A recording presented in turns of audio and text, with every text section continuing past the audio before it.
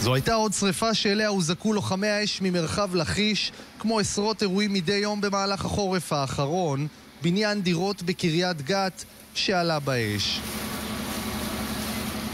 אבל כשצפו חוקרי המשטרה והשרפות בסרטון מצלמות האבטחה, הם נדהמו מהתמונות. כלב הפיטבול המעורב של השכנים מדירת הגן נראה משחק במצית גז גדול ומתיישב על ריהוט הגן. בשלב מסוים במהלך המשחק הכלב מצליח להצית אש, היא אוחזת בספה, והוא מעט נרתע, מופתע מהלהבה ומתחיל לנבוח. אז הכלב נמלט, והאש מתחילה להתפשט בעוצמה, ולאחוז בבניין. אני משרת 27 שנה, 23 שנה כחוקר.